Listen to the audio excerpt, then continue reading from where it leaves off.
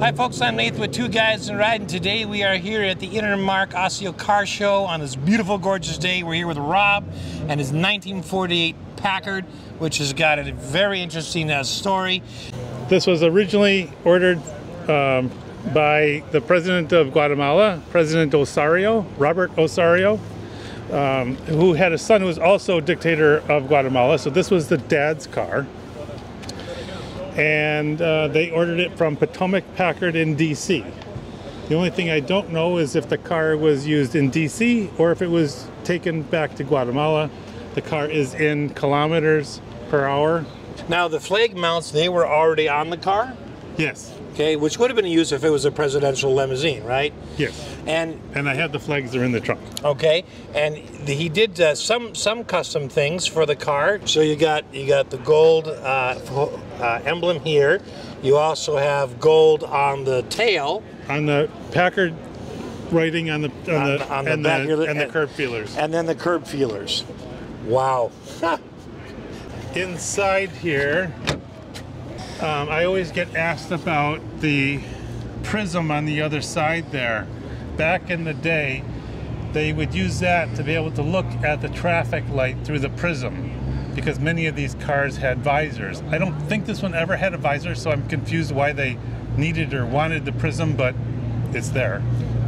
so they would use that. Oh, so they could see the reflection of it. Yes. Interesting. I, I was wondering what that was because it's rather ornate. the lever that's pulled out, sticking out underneath the Yep. dash there, that's the overdrive. How many gears does this have? It's a three speed. Three speed. Okay. Um, the grill extension over the glove box, I believe, was a custom feature. Another custom feature was to have what they called a backup light. We call them reverse lights today. Okay. This car did not have that. Yeah. So sometimes I have a feeling they just handed them a sheet and said, check off what you want, what you don't want. I've also seen pictures of the sedan version convertible, and they did not have a lock on the glove compartment. So Okay. that's what, again, like I say, here's a sheet, check off what you want, what you don't want. The wood-looking trim everywhere in the dash is this- not it- wood. It's is it? not. No, it's this is metal painted to look like wood, and Packard did this um, at least to 1940 that I know of, but I'm pretty sure before that. And you can see that the screws holding this in, so it'll all just come right off. You know, that, that I mean, that's that's a pretty good job because I, you know, I look at, you know, think of uh, '80s cars and, and some of the fake wood trim they had. That's it's at least as good as that. I also think I got lucky because someone replaced the material back here, and it looks like there's a little bit of sewing that um, needs to be finished. Something wasn't right. There's a little spot over there too. So this clearly was replaced. I believe that these seats were replaced, and I believe the carpet was replaced. The couch seat, I think, is original. It's just a little different color. And you've also got uh, a footrest in the middle, Oh yeah. and then of course your Packard uh, floor mats. Oh, you had even interior lights here on the side. Yes, the courtesy lights on the lower side, and then there are opera lights behind back by the window. Okay, and the back windows actually opened as well, didn't they? These back third windows open, yes. And then, you know, right down below that switch, is that was that an ashtray or was that a? Yeah. Okay, all right. In the back, of course, you had your brake lights, and then this one. Did this one come with a backup light, or was No. that that would have been an option that could have been added Right. and wasn't? Okay. I'd like to add it. I just don't know how to do it. There's a wire loom in here. I'm sure I could probably do it. and It usually would just kind of connect onto the bumper here. Okay. And it would just sit right okay, here. be a separate. It wouldn't be something that would come out of the body. It would be an added. yeah. Okay, and uh, we were talking about this earlier, Rob, but this is something I've never seen before. What was the function of this? This is a chrome covered air intake, and you can fill the uh, the spare tire Huh. from here. from there. So that is unusual. Okay, and then of course would have been your license plate light right here. Yeah.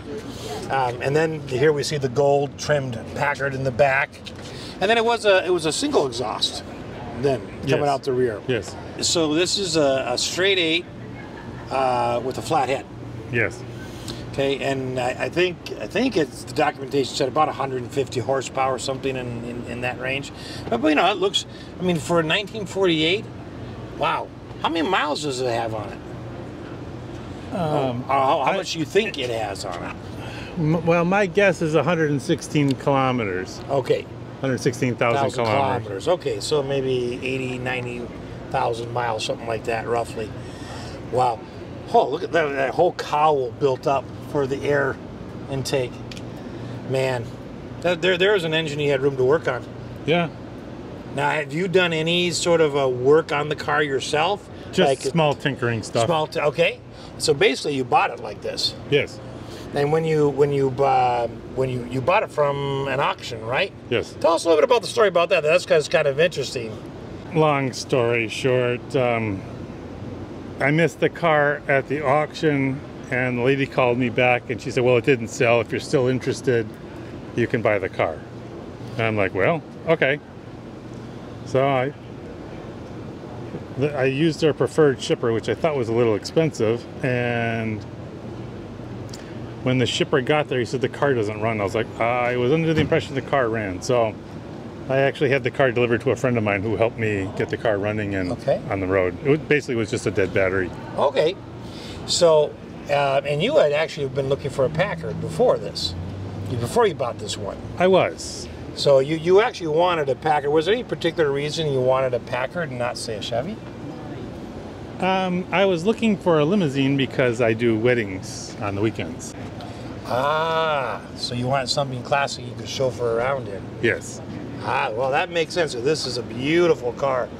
Oh my goodness. I got lucky. This is just what was on auction. I had no idea the history of the car.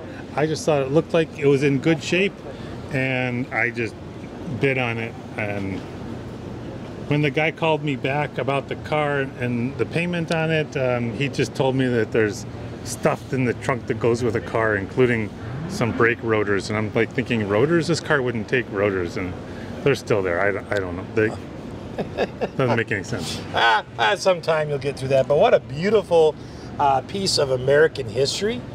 Uh, wow. Uh, Rob, thank you so much for sharing your car and your story with us. We sure appreciate it. Okay. Thank you. Thanks for watching.